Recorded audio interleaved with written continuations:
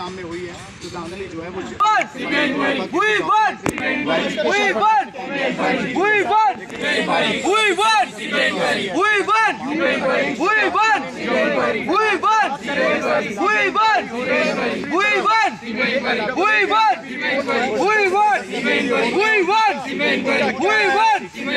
We won! We won! We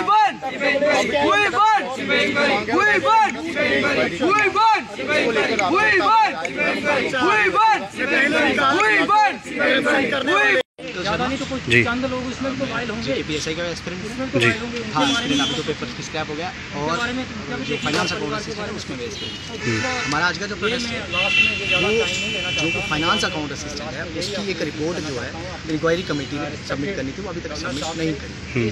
उसको लेके जल्दी से उस रिपोर्ट को सबमिट करा जाए और रिपोर्ट में क्या आए क्या नहीं आए वो हमें एक जो कमेटी है उसके ऊपर है। लेकिन हमें पता है कि उसमें धांधलियाँ बड़े पैमाने पर जो साबित हुआ है पिछले कल की रेड में। क्योंकि अभी रेड तो जेके पीएसआई के मामले में चल रही है, लेकिन जिन लोगों के घरों में रेड हुई है, उसमें से चार से छः लोग ऐसे हैं जो फाइनेंस अकाउंट असिस्टेंट हैं। और जहाँ किसी ना किसी का फैमिली मेंबर जो है फाइनेंस अकाउंट असिस्टेंट तो इनके ऊपर दिलाई क्यों? इतनी देर से फाइनेंस अकाउंट असिस्टेंट की जो रिपोर्ट है अभी तक क्यों नहीं दी है और दूसरी बात कि जब हमने ये मांग पहले दी जो भी हमने मेमोरेंडम दिए चाहे जो एस एस में दिया हमने दोनों एग्ज़ाम्स को लेकर दिया था लेकिन पता नहीं क्यों एल एडमिनिस्ट्रेशन ने उस आवाज़ को आधा सुना। और सिर्फ़ और सिर्फ़ जेके पी एस आई में इंक्वायरी कमेटी जो है वो गठित करी। और उस कमेटी को पहले पी एस आई का उसने करा उसमें भी डिले करा था। और आज बहुत डिले करा है। इसमें भी डिले करा जो इंक्वायरी कमेटी की रिपोर्ट फाइनेंस को लेकर आ जानी चाहिए थी। लेकिन आपके माध्यम से जो मैं सरकार की बात पहुंचाना चाहता हूँ अगर ये रिपोर्ट में और डिले करते हैं या ये कार्रवाइयाँ करने से झिझकते हैं कि हम कार्रवाइयाँ पीएसआई में हो गई हैं तो हमें कोई एक लॉलीपॉप घुमा दिया एक जगह कार्रवाई करनी नहीं करते हम इस ये जो धांधलियाँ हैं? पब्लिक में सारा कुछ पब्लिक डोमेन में डालेंगे क्रेडिबिलिटी के ऊपर सवाल उठेगा आपकी हमारी नहीं और हम इस चीज़ को स्कूल कॉलेजों तक लेके जाएँगे। सेंट्रल यूनिवर्सिटी का मुद्दा जब आया था, एडमिनिस्ट्रेशन को याद है, स्कूल कॉलेजों तक जब बात आती है तो क्या हाल होता है, उसकी जिम्मेवारी खुद ये सरकार होगी, हम नहीं होंगे। सरकार का, उसके लिए परिणाम सरकार को भुगतने पड़ेंगे। इस इशू को, ये छोटा मोटा मुद्दा नहीं है करप्शन का है। और अगर करप्शन है करप्शन हुई है, उसको डिफेंड करने की कोशिश अगर सरकार में रहते हुए कोई लोग करते हैं, कार्रवाइयाँ उनके ऊपर भी होंगी। उनके ऊपर कार्रवाइयाँ सीबीआई करे। नहीं करेगी तो एफ़ आई के जो बच्चे हैं एक लाख अठानवे हज़ार से नौ सौ बहत्तर मात्र बच्चे निकल के आए जो फाइनल लिस्ट में थे। अगर ये लिस्ट दूँगा जो लोग एफ़ में वो तो फाइनेंस में है। फाइनेंस में भी है उनके नाम तो नौ सौ बहत्तर में से चार तो अभी से माइनस कर दो। अभी तो उसके ऊपर कोई कार्रवाई शुरू नहीं हुई है। हम्म, बिना कार्रवाई के चार पहले ही माइनस कर लो तो और कितने होंगे भाई साहब? आप इसका बाकी सब भी और सरकार भी जानते कितने हैं। जो ये पॉलिटिकल पार्टियाँ कुछ बीच में कुछ लीडर उछल रहे हैं कहीं ना कहीं इनका कोई ना कोई रिश्तेदार है या किसी का इन्होंने खुद कहीं ना कहीं बात तो करवाई होती है क्योंकि एजेंट्स तो इन्हीं के हैं। अभी तो पॉलिटिकल पार्टी में एक छोटा सा पैदा आया है।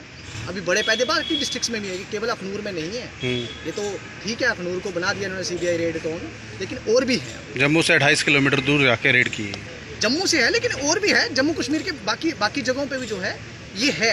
ऐसे लोग शामिल हैं रूलिंग पार्टी के भी हैं अपोजिशन के भी हैं। जो एक आज क्लर्क की पोस्ट के लिए इतना कुछ हो रहा है आप लिस्ट जिस तरह से आप बोल रहे हो बच्चे बोल रहे हैं लिस्ट को आउट कीजिए। यानी कि जो है लिस्ट को कंपलसरी कीजिए बच्चों का नाम आना चाहिए। अब आप बोल रहे हैं चार से ज़्यादा बच्चे मुलफिस पाए गए हैं। अगर पैंतालीस और निकल गए तो लिस्ट तो क्रश होगी होगी इसमें।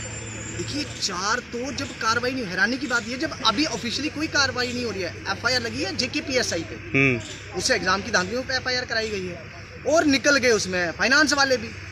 अब बताइए मतलब आप ढूँढने जा रहे हैं कुछ और मिल कुछ और जा रहे हैं आगे से। आप सोचिए कि वहाँ और कितना खजाना है। सीबीआई अगर जब सीबीआई के हाथ में जाँच जाएगी तो सीबीआई के हाथ बहुत खजाना लगा जितने लोग सीबीआई की रेड करने नहीं आए थे उससे ज़्यादा तो फाइनेंस में वैसे चलते फिरते मिल जाएँगे। हम्म। क्योंकि ये तो ऑलरेडी यहाँ कन्फेस कर चुके हैं कि हाँ स्कैम हुआ है लेकिन हमारा क्या कसूर है?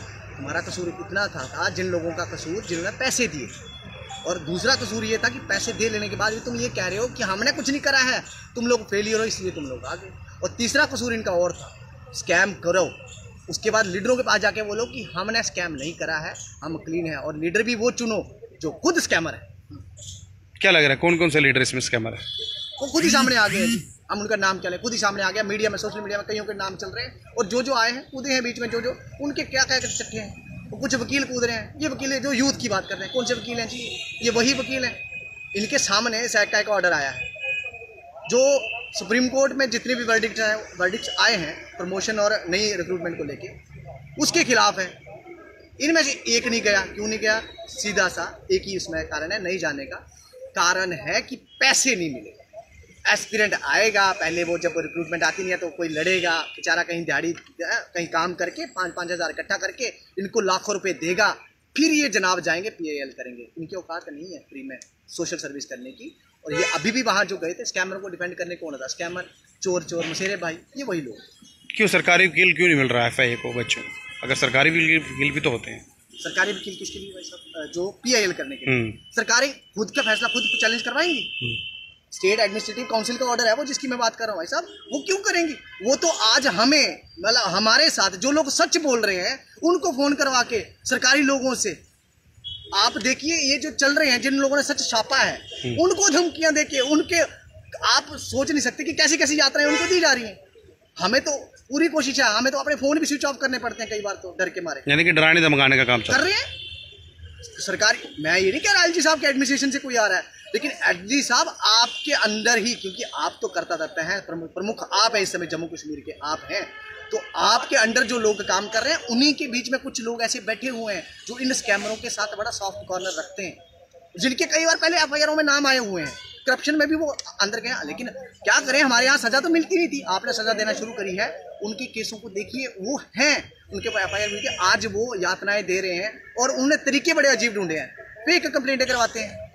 फॉल्स नेरेटिव बिल्ड कर अच्छा फॉल्स नेरेटिव खुद बिल्ड कर रहे हैं। हंगर स्ट्राइक हंगर स्ट्राइक बोल के जबकि है सिंपल स्ट्राइक सुबह आना है, शाम को चले जाना है, ठीक है, करिए। लेकिन फॉल्स नेटिव खुद बिल्ड कर रहे हैं, लेकिन फेक कंप्लेंटें उनके अगेंस्ट डालनी। है जिन्होंने स्कैम स्कैम इसको उजागर करा।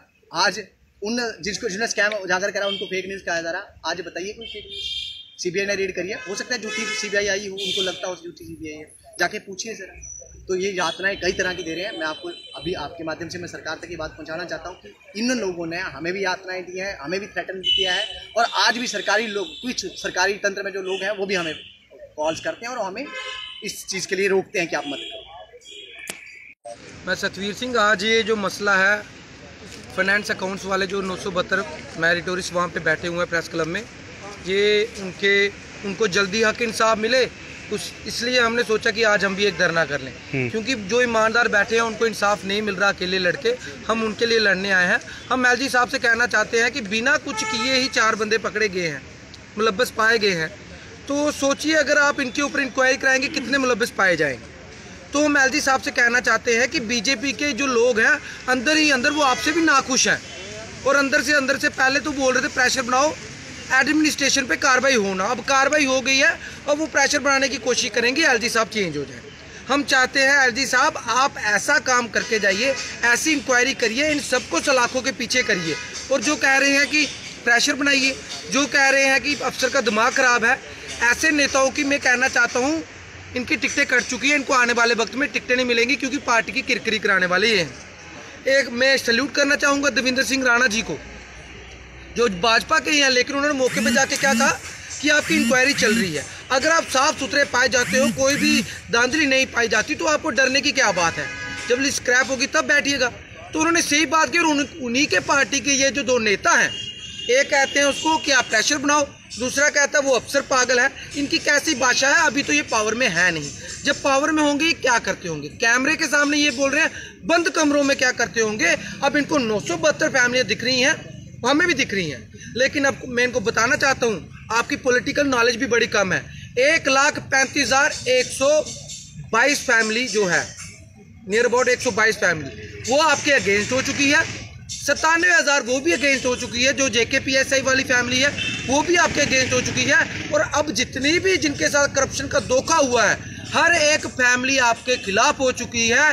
और अब आप एक काम करिएगा, आप भी कल पार्टी दफ्तर में क्यों बैठते हैं? वहाँ पे बैठ जाइएगा।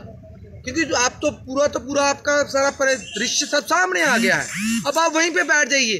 डिफेंड क्या करते हो पार्टी ऑफ़िस में? वहाँ पे जाके डिफेंड करिए। और एलजी साहब को भी आपका पता चल गया है कि आप कितने बड़े और कितने महान नेता हो। और पहले मैं ये कहना चाहता हूँ, जो वकील साहब ने आरटीआई लगाई थी ना, पचास करोड़ का कोई स्कैम है। पचास करोड़ रुपया जल्द से जल्द पूरा करो। नहीं तो जैसे ये काम खत्म होगा, हमारा हल्ला बोल आपके खिलाफ शुरू होगा। जय हिंद, जय भारत, जय जम्मू कश्मीर।